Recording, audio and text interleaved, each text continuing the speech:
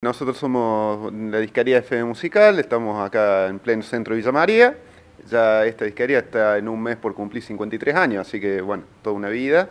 Y nos dedicamos principalmente a lo que es la venta de música en formato físico, ya sea CD, vinilo, en algunos casos cassette, ¿viste? Cosas, cosas físicas.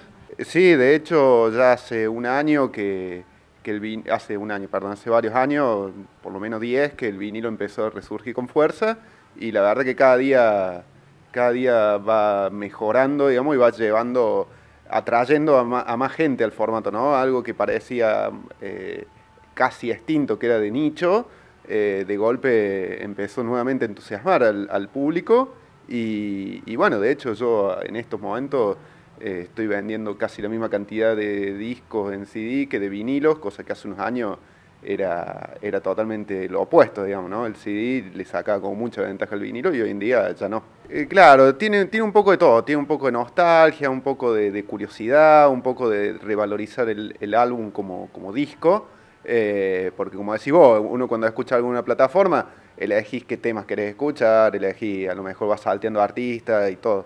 En cambio, cuando vos decidís escuchar un disco, sobre todo en vinilo, no tenés esa posibilidad, es sentarte y escuchar el disco como tal, como eh, digamos la obra, como la, la, pensó el artista, ¿no? Porque eh, antes eh, los artistas pensaban los álbumes como un todo, digamos, entonces es un poco revalorizar eso, revalorizar la obra, el hecho de tenerlo en un formato físico que vos lo podés tocar, que vos lo podés mirar, ver qué es todo el insert, ver cómo era la tapa, cómo era eh, bueno, la gráfica, eh, bueno, sumaba mucho y eso es un poco eh, lo que tiene el vinilo y el ritual por el cual la gente volvió, ¿no? Yo tengo clientes que, me dicen, escuchar un disco es, un ritual, es agarrar, a lo mejor abrís una cervecita, una picadita, poner un disco, escuchar, es como tomarse un momento para, para uno.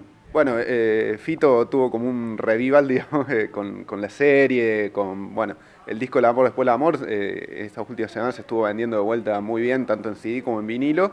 Y bueno, salió una reedición que, que en realidad Fito lo volvió a regrabar al disco con invitados, con todos los artistas nuevos, eh, que también se ha, se ha, vendido muy bien.